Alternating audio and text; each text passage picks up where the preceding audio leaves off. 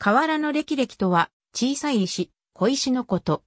本校では特に断りのない限り、砂よりも大きく、握り拳大程度までの大きさの石について述べる。サマセットの歴浜の歴々記は、人類史の旧石器時代を短所とし、基地のもので最初の人工物の一つである。表面が主につぶてからなる浜は、一般に、歴浜と呼ばれる。歴浜には、波の侵食に対して、表面保護特性があり、また動植物に生息環境を与える、生態的地位も持つ。歴でできた浜包が存在する場所もあり、サフォークにある大川の入り口のように、歴の土手が移動し、高校上の著しい課題となる。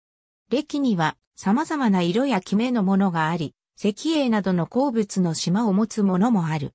歴はほぼ滑らかだが、他の岩石や歴との接触の頻度によっては、後のあるものもある。大歴中粒手細歴体積学における粒手とは、粒の直径が 2mm 以上の再接物のこと。砂よりも大きい。粒子が角張っている場合は、角歴という。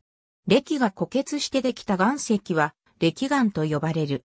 歴は、粒子の大きさによって、さらに細分されている。粒径 2mm 以上を一括りに、つぶてとするのは、歴と砂とを分類するためのものであり、歴のうちでも、巨歴と中歴、細歴とでは、性質が大きく異なる。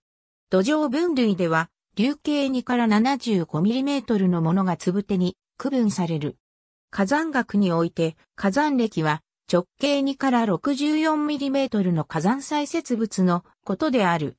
火星では歴岩が見つかっており、かつての川床で形成されたものと解釈されている。その歴岩はアメリカ航空宇宙局の火星探査車キュリオシティによって発見されたものであるが、含まれるつぶての大きさの範囲は、砂流程度からゴルフボール台にまで及ぶ。歩くペースで流れ、くるぶしから腰の深さの川で堆積したと分析されている。ありがとうございます。